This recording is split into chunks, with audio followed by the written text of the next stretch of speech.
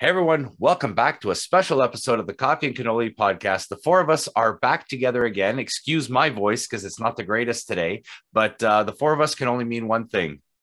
Buddy's making faces like he's constipated, but we're going to be talking about wrestling. This is the first video I'm recording back since I went to Grand Slam in New York. Uh, look for those photos this week or this past weekend. They were up on my Discord server. They're under the AEW Grand Slam uh, sub subcategory. Look for all the photos and all the videos that I have from that in that Discord server. Link to that will be in the description below. Links to all these guys will be in the description below. So, with that out of the way, before we get into anything, this a few weeks ago, PW Insider released the top 10 only from their top 500 of 2022. 20, uh, from June 30th of 20 or sorry July 1st of 2021 to June 30th of 2022 is what these stats are based on. They've only released the top 10. The 500 is not out yet. When the full 500 comes out, we will talk about that.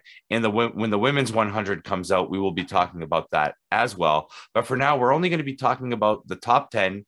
I'm going to go through the top 10 for you guys. And then we're going to talk about a couple names that maybe got snubbed from the list, maybe a couple names that uh, are don't deserve to be on the list and then uh, we have a little surprise for you at the end. So make sure you stick around for that.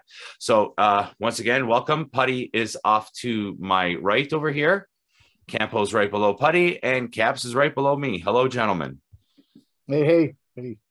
Hello. Hello. So this year's PWI top 10 is out. Um, I'll read out the list for you guys now. So number 10 was Jonathan Gresham. Number eight was Big E. Number, or sorry, number nine was Big E. Number eight was El Hijo del Vikingo. Number seven was Bryan Danielson. Six was Cody Rhodes.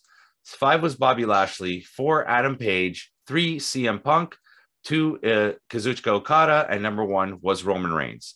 So the way PWI uh, lists these is based on in ring ability, the feuds, their major feuds, the titles they've won throughout the year, um, the quality of the competition, and how many championships and stuff like that they've won through the year. So I'll open up the floor for the discussion on this top 10 list. What do you guys think of it? Well, okay, forgive me for looking like I'm lagging. Uh, for some reason, my computer's been doing this lately, but I'm not actually lagging. Um, I, I don't know. I I feel like there's a lot of really weird choices on here. Um, yeah. just in general, like not even okay. So El Hijo del Vikingo, or whatever mm-hmm. his name is, barely wrestled at all for the entire year of 2022. He had two title defenses, and one of the titles he had to relinquish because so, he was hurt. Yeah, he got injured twice. Mm-hmm. And so that I don't get. Bryan Danielson was out for like all the important parts of his storyline, minus the joining the Blackpool Combat Club. Yeah. And I mean, like, Big E too. Like I know he won, but like he's been out the whole time. Yeah, he's been out for a big chunk of it too. Uh yeah, there's a few of them. Even even Cody. Cody was off of AEW TV from like November to March, shows up at Mania, wrestles for three pay-per-views, and then is gone because of the torn pec. And then you can say the same thing too about CM Punk because he didn't wasn't even in the title picture until June, which is past the date the date. So none of his wins are based on yeah this list, which to me well, seems weird that he would be that high. Well, it's it's funny you say that because when we were constructing the list, I, I, I messed up and actually had the wrong one. You can ask JD. We actually talked about in the beginning. Yeah, he had the 2020 list. Yeah, and see, uh, no, I He's like Chris uh, Jericho. Like yeah, the list. but the, the, the whole point of the situation was what made me confused about it was there were a lot of I feel top tier wrestlers that had moments like, for example, Wardlow. You know what I mean? I, I feel like maybe he could. I mean, I don't know where he got he, he peaked, but wasn't that stuff happening during that time? I mean, Wardlow kind of peaked right after May with the MJF feud, the blow off for the MJF okay, feud, I, I right? So, so you can't really put so, Wardlow in there. But like realistically, too, if you look at this, how many times did Sammy Guevara win the TNT title in that year span? But he's not on the top ten. He's nor would I put him 10. on my top ten. No, I wouldn't. I, either, I wouldn't either. But it just seems like criteria wise. Yeah. What about Seth Rollins? He's had a lot of. of, of Seth of, Rollins, okay. Well, we'll get yeah. to that, but yeah. So, so base. So this list is constructed based on wins or is it So it's based, uh, draw win- power or Uh, wins. It's based on wins and losses, championships won throughout that calendar year, the quality of the competition that they faced in that year, how many championships they've won in that year, and their in-ring ability. And like how their reign went. How many did they defend the title successfully multiple Yeah. times, or did they lose it right away? Did Hmm. they get injured and stripped of the title twice? I don't know. and there's one for each div- um like one for women's wrestling, one for tags. For tag, That's how it works. Okay. They will the be women's used to be a fifty, but I think it's a hundred now. Yeah, they've expanded it to 100. And if uh, Bianca Belair is not in the top five this year, we riot. Well, she won last year, didn't she? Think so, yeah. Yeah, she got to keep winning. I don't know. I don't know what to say about that. Anyways, But Deonna Um, Purrazzo, number one in my heart. yeah, oh, for sure. And I mean, she's had a great run this year too. Uh, Yeah. We're not talking about females. Um, Josh. Uh, Gresham, Jonathan Gresham. no, no, no, no, no, no. Okay, Jonathan Gresham deserves to be on here. He carried. Yes. And he's company- buried. He's buried at number 10. I He think I carried know who our- he is though. He carried ROH when ROH was a nothing company. He Yes. defended the belt overseas. He won the Progress Championship as well. and I don't believe Bobby Lashley won any titles in this time span. Yes, he did. He beat Drew McIntyre. Did he? I Which think was it? so. Which was another. Oh, another I don't even too. think so. Sorry? Um, Well, I was I saying that as far as Drew McIntyre, I feel like that's that might be another one that I feel like it might be uh, kind of on the list, or at least low on the list. You know what I mean? Towards Yeah. ten. I mean, I don't know. But I mean, Just for the put it out most there. part, this list is okay. Like I'm I'm not upset with the list. I think it's more the positioning of the list. I don't know. I'm still kind of the same with the list. I don't know. That's just me though. Yeah. Sorry. But uh, I mean, is there anybody you think that should have been on the list list that's well, not I can on? give you one right away. He said it. Seth Rollins. That was Seth one Rollins. of my three choices. Yeah. I, I- the I amount would of put- the amount of feuds, the quality of his work in and out of the ring, right. and just how high uh, profile every match was. Him not being on here is ridiculous. well, I When you mean, that's have- the thing. They put Cody Rhodes at number six, and Rollins got snubbed off this list. I mean, I'm Mhm. happy with Cody Rhodes being on this list, but Yeah, I think so if am you I. have him, you need Seth Rollins. You on need this Seth list. Rollins Yeah, because agree, Cody yeah. wouldn't be there without Seth. Hundred percent. That's what started this whole thing. Remember, Yeah. remember Seth Rollins. We, we already had Seth Rollins with a storyline where he was like, "I need to be in WrestleMania," like where he was making that whole thing. Yeah. They were the best match of Cody Rhodes. WrestleMania. that's my They were.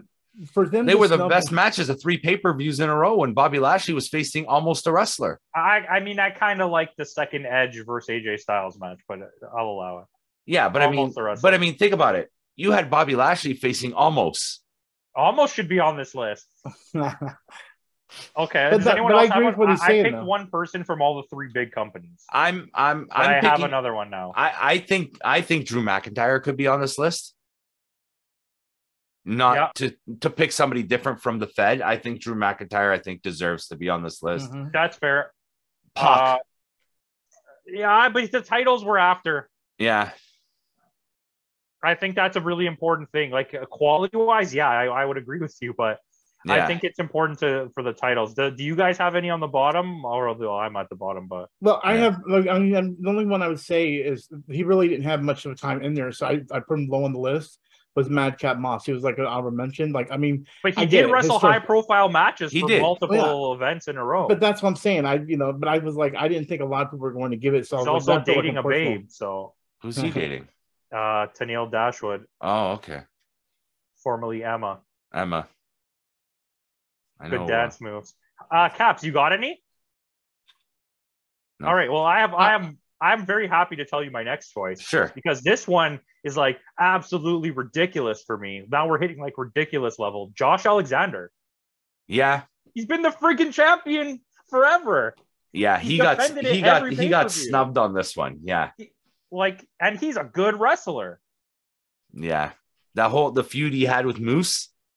Yeah, like everything he's done has been good. He has Mhm. not done anything bad, and he's been the uh, the champion strong for a, a Yeah. good chunk of the that span. And the thing is, too, like I, I would have thought the opposite when they split up the team between him and Ego, all Ego Ethan Page, and Ego uh, Page went to AEW. I thought Ethan Page was the one that was going to hit it big, and Josh was going to be the one that got buried, but it turned out the other way around. Well, the page is on the way. I hope so because he wasn't in that battle royal. I was so upset when I didn't see Page in that battle royal. It looks like it's a slow. They're trying to slow build him. Okay. I don't know why, but that's what it feels like. Um, okay. Putty, you got any more? Wait, No, JD, I you didn't even say one. Um, I said Pac, I think deserves to be on that list. I mean, if not this year, he definitely needs to be on it next year.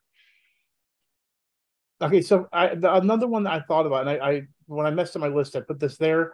But again, you guys said based on June, and so this didn't happen until after. But at the same time, he did get a squad together, and that'd be Edge when he got because that that that the whole. Oh, he uh, came back before June, and he, he Yeah. had some really good matches. Yeah. Like he, he was another one, and then um. that feud with AJ Styles that we were talking about, right? mhm, mhm. It's Um, uh, I mean, okay, I got a big one. This is my this Sure. is my number one. I didn't pick anyone from AEW. I can think of one if we have to, but um, thi- this is arguably the best wrestler working in the world right now, and he was champion for 900 Mm. days. Like the fact that Will Ospreay is not on this list is is absurd to me. Yeah. His everything he's done has been gold. Yep.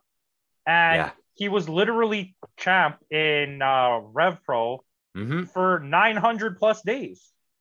Yeah, I've that's known- a I- big that's a big one that uh, that's missing off. Plus, I list. believe he won the U.S. championship before June. Yes, he did. Yes, he did because uh, right at the right at the cusp of this. So Yeah, with rock hard, use Jeez. Robinson. rack hard. But uh, yeah, I think I think that's a great pick. Uh, I, I'm going to pick somebody from ROH as well now, but he's kind of in AEW. And that's Jay Lethal. Yeah, that's that's he has carried matches on his back. Mm-hmm. Unfortunately, some of his better stuff this year has come after June, like the whole carrying Ric Flair in that match. And Yeah, but I, I mean- think Jay Lethal is definitely someone that needs to be considered. that's a fair pick. He's always an option for me to to make it, but it's like to doubt what a lot of these wrestlers can do is. I, like the, Josh Alexander one is just the one that really gets me. Yeah, like Will Ospreay, I is I think belongs more than he does, but just like what Alexander has, he's carrying an entire company on his yeah, back. he is. He is. He totally is. Um, I if if he were champ still, I would have said Nick Aldis too in the NWA. That's uh, that would have been a good one too. So, but I don't think Trevor Murdoch has been champ enough or done enough in NWA to be deserving of a spot. But uh, if Nick Aldis had a little bit more, I think he should have been in this list as well. Um, Cap, uh, Campo, you got any more caps? Anybody? Uh, anybody who you think should be on this list this year that didn't make it? Um, Well- I mean, we could probably go through it for a while. Sorry, go. Well, I was going to say this. We, we I brought it up earlier, and I, I when I was looking at my list, I wanted to bring it up and everything.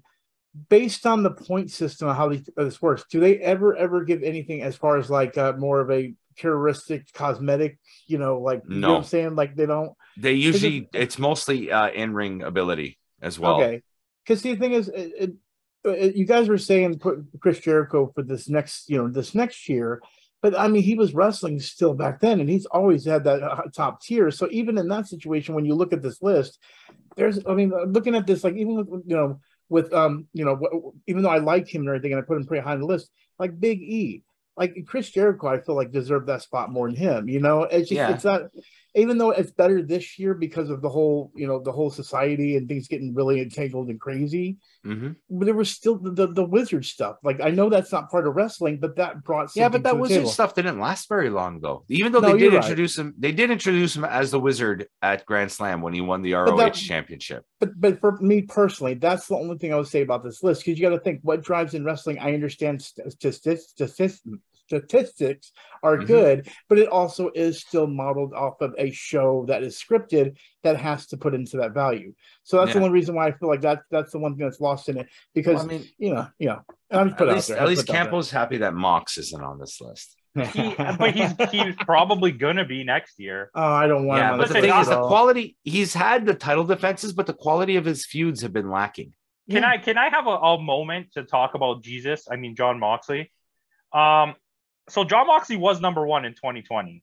Yep. Uh, but it's like so. This is my whole thing. You know how I feel about him. We already know all this. Blah blah blah. Mhm. Mhm. his um his in-ring like promo against MJF the day after the whole thing happened at uh whatever whatever the pay-per-view was all Double or nothing. double or nothing. No, it wasn't double or nothing. Yeah, it was. Revolution? What was the last pay-per-view that just happened? All out. Out, yeah. So when uh they, he had to come out and he talked, it made me realize I might not like his in-ring work or the character really, but he's such a company man and he's all about the wrestling, and I really appreciated that.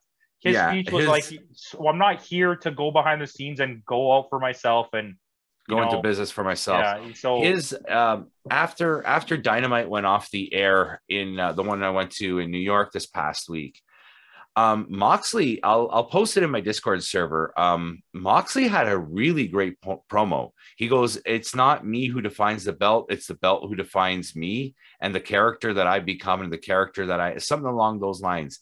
And it was really it was a very sincere and it was one of mox's better promos. We're talking like almost as good as like his early shield work when his promos were actually good.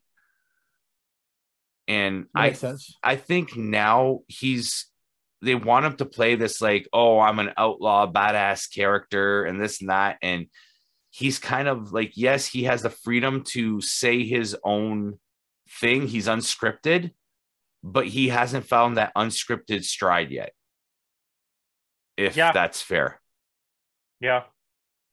He, he he's Which- very on brand. Like he stays with close to the material. Well, yeah Uh, he's probably most, the most dependable person on that roster. Yeah, and I Yeah. understand that's why you would say let's give I mean, him back the title. For. Christ's sake, this Danielson guy gave up his vacation to cover for CM Punk because CM Punk got hurt. Well, see, that's what I'm saying though. He has the potential, like the way he was doing stuff. It made me think of like the whole feel of like Stone Cold. Like it was uh, AEW kind of trying to do their own thing in that way, and it didn't work for me. But I feel like if he did give it some time, he could, like you said, he could mold himself into something that would be his own character, but still have that edge to it that was. the Stone problem Cold. is he doesn't progress at all in his in-ring work. yeah, Yeah, I it's the with that. same. Like It's- even even even the match um, on Wednesday, him and Danielson. It was Danielson for the most part of the match. And Danielson, okay, Danielson just had two back-to-back absolute bangers with Chris Jericho. Like Yeah. absolute bangers. Yeah. And then Chris Jericho went on to have an amazing match Mhm. against Claudio. The Chris Jericho at that age, I cannot believe what he's doing. Like I- we said it a few a few shows back that at this point we seriously need to consider Jericho in the top ten of all time. Yeah, I would I would honestly say so. I agree. It's it's you can make an argument It- for for sure, especially because of uh, longevity. Yeah. I'm five. I agree. Probably. Probably. Well, like I Like- said, we The guy's Oh, never he's he rarely gets hurt. He's always mm-hmm. dependable. He's always there. Whenever they need him, he's always no matter He's what. also one of the safest people to work with, apparently. So Mhm. well, That's I why he never gets hurt. and it, it's very hard to have a charisma even while the changing times and be able to keep, keep people's attention and he pulls that off like it's funny how even now he he gauges your attention because it's like what's he going to do and he's very good at not making it stereotypical crazy does that make sense like i don't know how to explain how great he does it it's so He weird. does these silly things, but it works. Like Yeah. a few, like five, ten years ago, whatever it was, when he did the list. The list was the stupidest thing ever, but it worked. no, that Like- was hilarious. But that's what I mean. Like people think of the list and they think it's dumb, but he made it work. The whole best friends showcase with him and Kevin Owens, I thought that was fantastic. It just his his career started off. He was a very serious wrestler. In ECW and WCW, he was very serious. Then when he got to WWE, they were like, "You can play around and do whatever the hell you want," and he just. But even even at wacky the end, towards the end of WCW, you could see some of that like yeah charisma coming out, like Dean Malenko. I'm the man of a thousand holes, and Jericho armbar, armbar, a thousand and four holes, right? Well, for me, the moment was Y2J, the whole situation where he started doing that. That's when I feel like, i- in, in general, he was starting to show it because he, he, was, he was crazy. But the thing is, like, he liked to, it- it- the, I call it the, I guess, Chris Jericho yell. He likes yelling at people, and it's a really enjoyable, like, like, it, it- you don't get, it doesn't get old. It's not boring. You know what I mean? Like, it's him on of those very- announcing is awesome too. I love. him Yeah, he was Yeah. really good on Rampage. He's always good on. Rampage. Um, okay, well, I don't. I don't have any more Yeah, people. I I'm- should yell I'm out. done Uh, with the list too. Um, I'm going to show you guys our lists. Um, the little surprise that I had for you guys is we arranged a top 10 list. So you guys can see where we put everybody. So as you see, Campo's list here, he put Okada as number one, Reigns as number two, Page as number three, Rhodes, Gresham, Punk, Danielson, Lashley, Biggie, and El Hijo. Ours are very similar with the exception of a few. Um, Okada, Page, Reigns, Punk, Rhodes, Lashley. I put Lashley up there because he's had some good feuds and now he's become one of the main players on Raw. Um, Danielson, Gresham. This was kind of hard. These three was kind of hard to like place in a spot. And then Biggie and El Hijo in the bottom. Um, Putty put Okada as should be number one as well, but he put you put Biggie because you really enjoy the character, right? Yeah, exactly. And that, that I didn't realize it doesn't count towards that, but I mean, Yeah. I'm going to be honest with you. It's a, it's a wrestlers I like. You know what I mean? Yeah, and Rhodes and Punk. It's pretty very similar, except you put Reigns way at the bottom. I'm sorry, I'm getting sick of Reigns, and I mean he's a good wrestler, but like even the moves he does, like for some reason now when I see him, I'm like Kenny Omega's doing it better, bro. I'm just gonna be honest. You know what I mean? That's how it feels with Reigns. It's not even Reigns in the same class. But you get what I'm saying, not though. even Like, a like, comparison. This is like this John is the one I want to see. Caps, you put CM Punk as your number two. Yeah, I, I was kind of like last second, but um, if this thing is based on wins, then Yeah, when he did win a lot in that time frame before he got hurt. And that's the biggest reason why Roman Reigns would be number one because if this is actually based on wins, then he's number one. So here's here. Can I give you mine? Just like a couple here. Yeah, So Okada is number one. yeah, he Okada won the G won one the G1. Without He won again, out- but we're not counting that one. He was the champion. He had an excellent feud with Jay White. Mhm. Um, I mean, I'm not of the hugest. Jay White's not on the list. but yeah, but Jay White didn't win till after June. I don't True. think. Well, I well here's the thing. I want to also bring up the Okada thing. The reason why I picked him actually, and why even even you brought it up to me, JD, is I didn't notice the name, but I went to look back at my list. and Remember, I used it based off of an old list. Mhm. So when I went back to make the 10, Okada was high. He was actually on my original top five. I had Ken Omega, Chris Jericho, Wardlow, Edge, and then Seth freaking Rollins and uh, him, Okada. So when you said made me go back into the list over, I'm like, he was literally the only one that was on my list originally Yeah, for the ones that were for last year. So yeah, he deserved it. But like in the last 10 years, I just want to point this out. Okada has won a top 500. He's Mhm. been in second twice. He's been in third once. He's come in fifth three times and then sixth in the last 10 years. There's to me, there's no, it's a no doubter that he's the number one. Roman Reigns has been the title holder for like 10 billion years yeah, and just keeps winning. So I can't not have him in the top. right. But Adam then again, Page he doesn't. a great title run, so he's got to be top three. His, but the thing with Reigns, though, the reason why I put him below Okada is his defenses haven't been that great. It's either against Brock Lesnar or some jabroni that doesn't deserve it. but it's he's still in just based on like what he's doing. He's my number two, Yeah, and then Gresham carried a company, a dead company, around Yeah. forever and had put on great matches. Cody Rhodes is Cody Rhodes. My Mhm. thing is, so Bobby Lashley's down for me, and the reason I know you Putty had him a bit higher and I, you have him a bit higher, but Yeah. as as terms of like the in ring product, Danielson and Punk were both better. So Yeah. I I can't. And Lash, Lashley didn't really win anything big enough for me to be like, okay, you're better than these two guys. Big E is because of the injury, and El Yeah. Hijo's the Yeah, same thing. They, they, they missed the whole year. Well, how can you be on the list? yeah, but again, I was filling in last minute, and, uh, and a lot of these wrestlers wouldn't be. I did on mine my in two seconds, but I agree with you. I understand. The biggest one for me is is CM Punk at number two on, and Bobby Lashley on caps. But Yeah. I mean, I don't get the Gresham hate. I just don't get it. yeah. Like I All mean, that you, match, he, that you. match he had against Claudio, which wasn't even one of his best, was still a good match. Yeah, and he defended the title so many times. That four way match, I though, don't at the Ric. Flair's and Ric Flair's, it was Gresham and uh, yeah, that was a great match. That was an insane that four way match. That match was insane. That was probably one of Gresham's best showcasing. But Yeah. uh yeah, if uh, that's it, guys, and you have nothing else to say, we'll end it here. So thanks again, everyone, for joining us. Um, look for all their stuff in the description box below. If you see want to see all the photos from my trip to New York, AEW, go on to my Discord server. Link is in the description box below and give that a check out. And uh, we'll see y'all uh, next time.